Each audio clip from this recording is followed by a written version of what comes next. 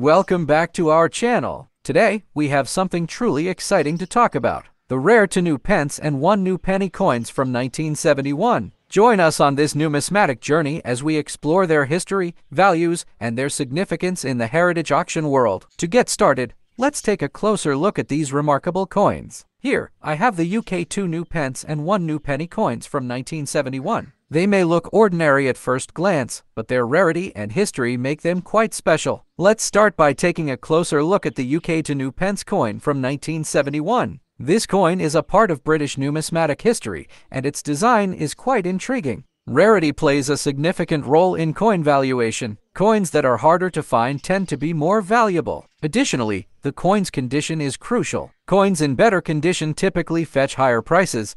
So, what can you expect when selling this coin at a heritage auction? The value of your UK 2 new pence 1971 coin at a heritage auction can vary based on its condition and demand. In good condition, this coin can fetch anywhere from $30,422. However, please keep in mind that these values can change over time. Next up this is the one new penny coin, minted in 1971. It features the stunning portrait of Queen Elizabeth II on the obverse and a lovely seated Britannia on the reverse. But what's the history and significance behind this coin? The value of a 1971 UK 1 new penny coin can vary widely based on its condition. Coins in mint condition are generally more valuable than those with wear and tear. This particular coin, graded as mint, fetched a jaw-dropping price at the auction. Collectors and investors are showing tremendous interest in these vintage coins due to their historical significance. And now, the moment we've all been waiting for. What was the final auction price for the 1971 UK 1 new penny coin? This coin was sold for an astonishing $100,390 at the Heritage Auction. It's not just a piece of currency, it's a piece of history with significant value. Thank you for joining us today. If you enjoyed this video, don't forget to hit that like button, subscribe to our channel,